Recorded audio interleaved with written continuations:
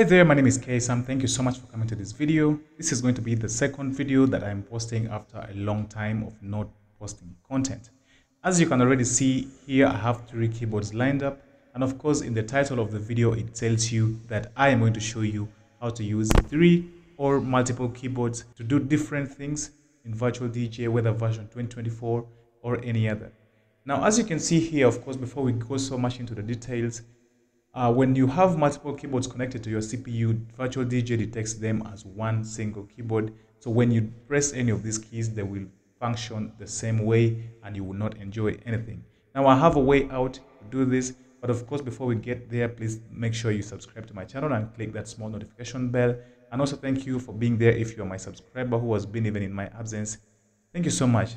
And let's get started.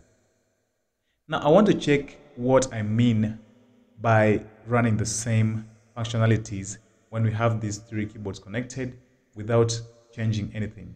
Let's just open Virtual DJ to prove to you that it really detects these as one same keyboard. So this is Virtual DJ here, and I have three keyboards connected as you can see. I'm going to go to the mappings area, and I'm going to press a similar key in Virtual DJ.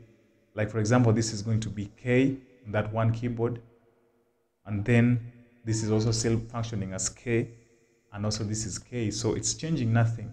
And if i had some scripts running uh, you would see them doing the same things.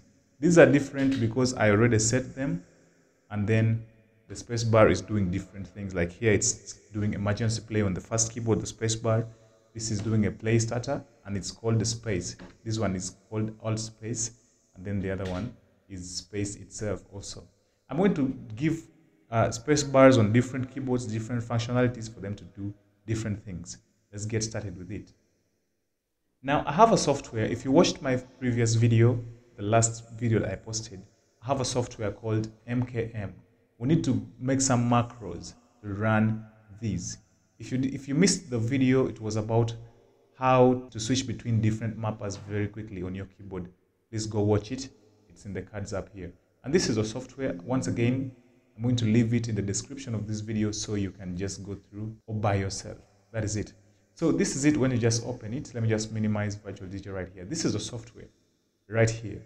I have a primary key, which is going to serve as the main keyboard, which is already here. If you don't see it here, if you're launching the software for the first time, you might not see it, but you'll have to come to detect. So you can click any key on one of the keyboards that you want to serve as your primary key. I need this one here to be my main keyboard. I won't change anything. I won't rename any letter here.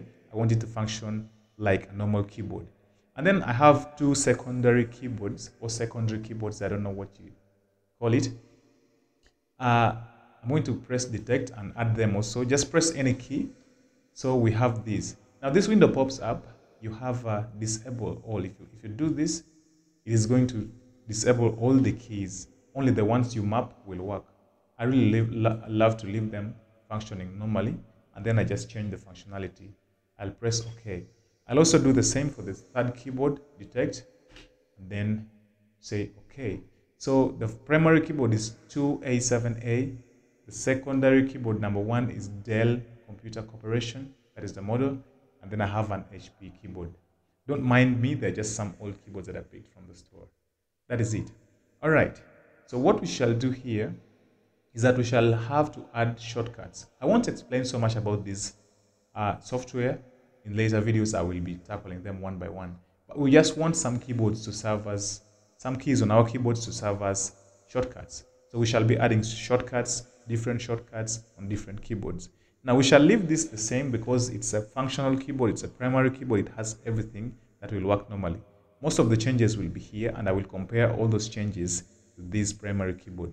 Now what we shall do, let's start with the first one up there, the HP keyboard.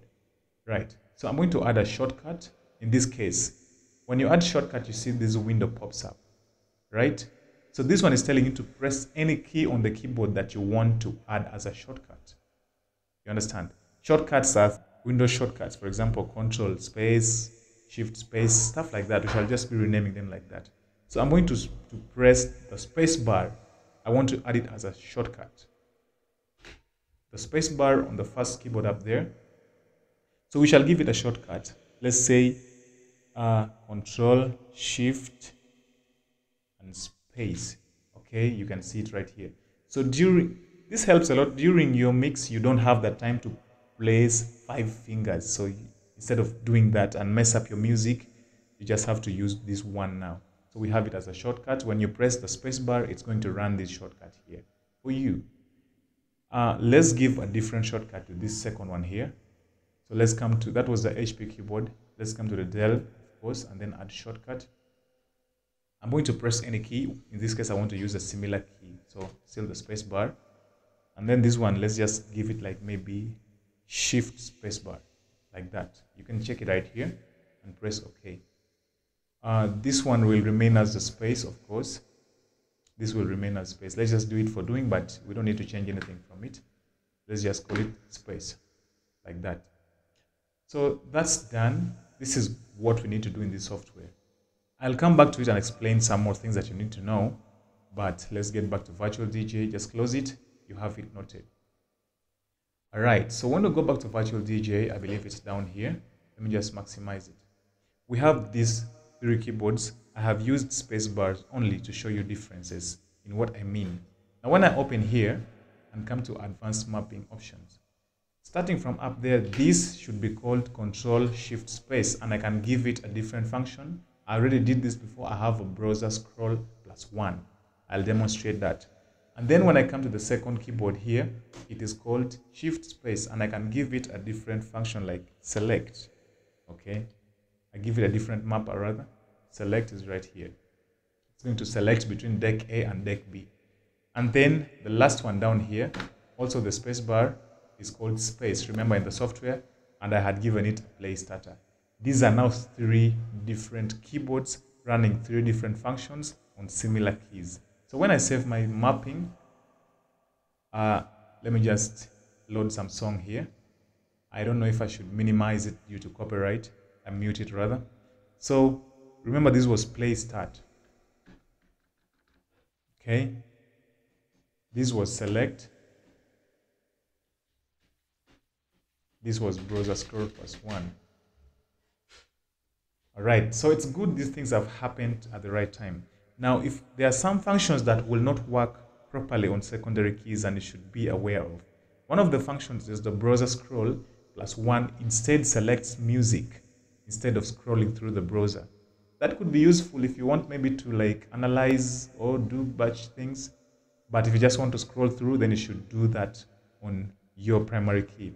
Another thing that will not work on a secondary key is a to do a function while pressed. Any function that you need, maybe you want to have a, a, a, an effect while pressed, while pressed, anything that is going to be happening while pressed should be here on the second, on the primary keyboard. Another thing that will not work are these three functions. Cue, play, and sync. These functions will not work. The only things that will work will be effects, the pads, the knobs, and other stuff. So that is it. So we have to change these functionalities. Play starter can go to any other keyboard. Let me just do that here on the, on the, the HP. Let this be play. Okay, like play starter. Um, let's just use play starter. And then uh, I will come to this other one. Select would be okay. And then I come back home. Let this be like browser scroll. Yeah, let this be browser scroll. I have caps lock, like browser scroll. I think I have it here, right down here.